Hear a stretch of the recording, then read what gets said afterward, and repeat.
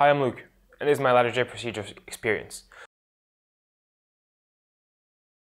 Uh, about eight days ago, I got operated on uh, J procedure in my right, left shoulder. Sorry, left shoulder. After four dislocations playing rugby, uh, you can kind of see what happened by looking at part one, which I'll put in the top screen. Uh, yeah.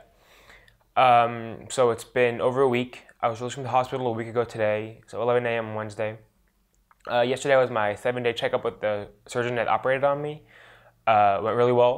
Basically, got in, uh, looked at the scar, um, cleaned it up again, and a nurse bandaged it up again.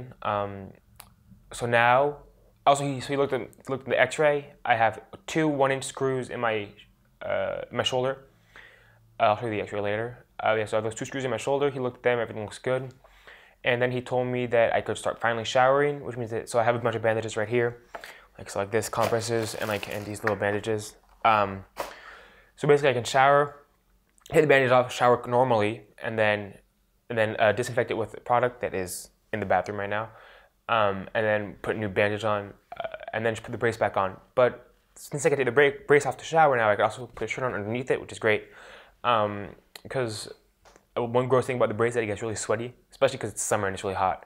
Um, like it's like it gets hot and like, you can take it off. So now that I can take it off, I can wash the shirts a lot easier than I can wash the brace, which is nice.